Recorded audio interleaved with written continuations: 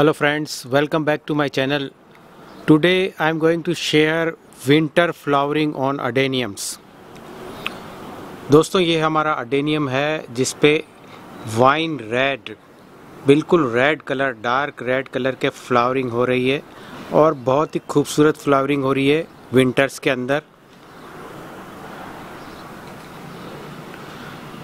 तो आज हम आपके साथ में कुछ टिप्स शेयर करेंगे कि अडेनियम के ऊपर विंटर में फ्लावरिंग को कैसे प्रमोट किया जाए।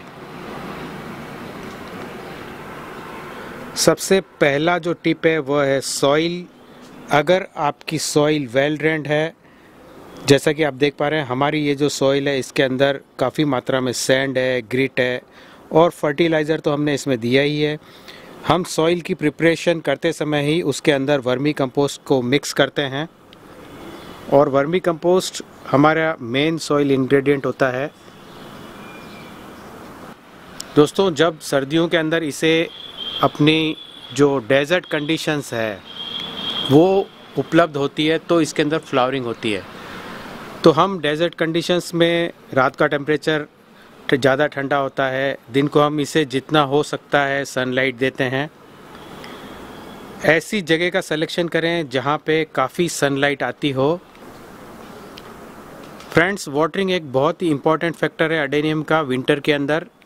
और विंटर के अंदर आप इसे आठ से दस दिन में वाटर करें तो भी चलेगा। लेकिन जब भी आप वाटर करें थरोली वाटर करें। पूरा पानी इसे पिलाएँ। उसके बाद पूरी तरीके से मिट्टी सूख जाए। उसके भी आप चार पाँच दिन तक ठहर सकते हैं। कभी कभी हम दस दस दिन तक इसे विंटर में वाटरिंग बिल्कुल भी नहीं करते हैं। और नंबर वन जो पॉइंट हमने आपके साथ शेयर किया है और जो बार बार मेरे व्यूअर्स से मैं शेयर करता हूँ, वह इसकी सॉइल अगर आपकी सॉइल सही है तो आपके सारे काम सही होंगे।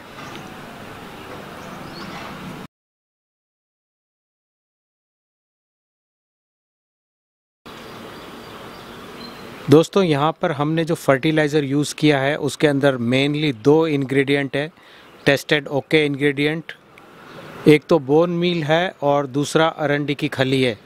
ये दोनों बहुत ही ज़बरदस्त ऐसे इंग्रेडिएंट हैं जिनसे फ्लावरिंग आती है और कलरफुल फ्लावरिंग आती है।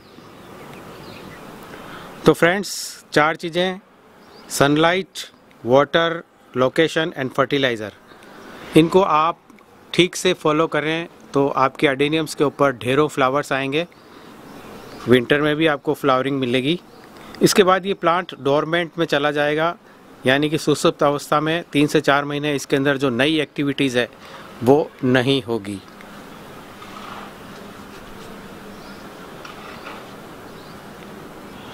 This is my natural adenium bonsai इस बॉन्साई के अंदर हमने प्रूनिंग नहीं करी है वायरिंग नहीं करी है। इसे वाइल्डली जैसे नेचर में ग्रो होता है, उस तरीके से ग्रो होने दिया है। जो इसकी ब्रांचेज है, जहाँ जा रही है, वहाँ हमने जाने दिया है।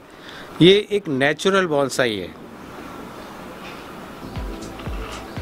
So friends that's it for today I will be back with some more informative videos on bonsai and gardening till then bye bye